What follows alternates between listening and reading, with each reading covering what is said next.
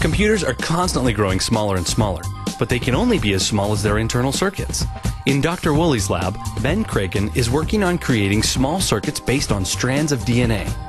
Incorporating DNA into circuits requires a multi-step process where DNA is formed into different shapes using a process called DNA origami.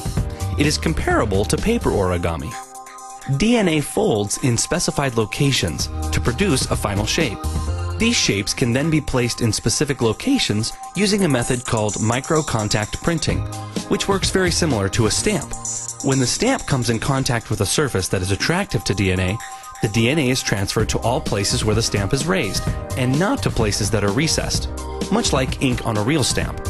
These origami-like shapes can then be connected with other DNA by stretching strands from location to location to give a completed circuit. By putting the DNA in a solution of positively charged metal ions that will be attracted to the negatively charged phosphates on the DNA, these researchers can create nanowires and complete nanocircuits.